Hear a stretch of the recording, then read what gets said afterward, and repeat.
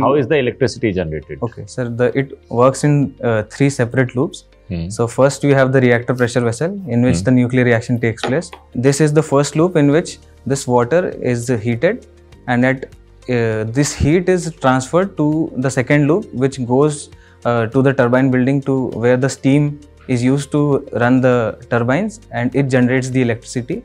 And the third loop is there, which uh, dissipates the remaining heat into the uh, ocean by reducing its temperature considerably. What are the byproducts of nuclear fission reaction? I hope. Uh, what is the fuel used over here? we are using uh, 3 to 4 percent enriched uh, Uranium. uranium, uh, Okay. 235 Okay. So what are the byproducts of this? byproducts are uh, generally the fission products are like cesium and uh, uh, xenon and a few other metals also Is it?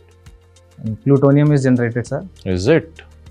yes sir plutonium 239 is uh, generated in the waste as well as some unused uh, uranium itself Uh, tell me why uh, 1.5 meter of concrete is used? the gamma radiation is attenuated by the use of uh, concrete So does steel attenuate or concrete attenuate? both can uh, attenuate if sufficient thickness is provided. What is the thickness of steel canister?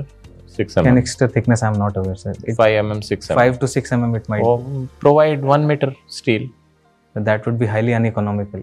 What is added to the concrete for absorption of gamma rays and dissipation of gamma rays? Uh, heavy concrete we use in which uh, hematite aggregates are used. So these heavy aggregates, uh, they are used to attenuate. apart from hematite? Okay.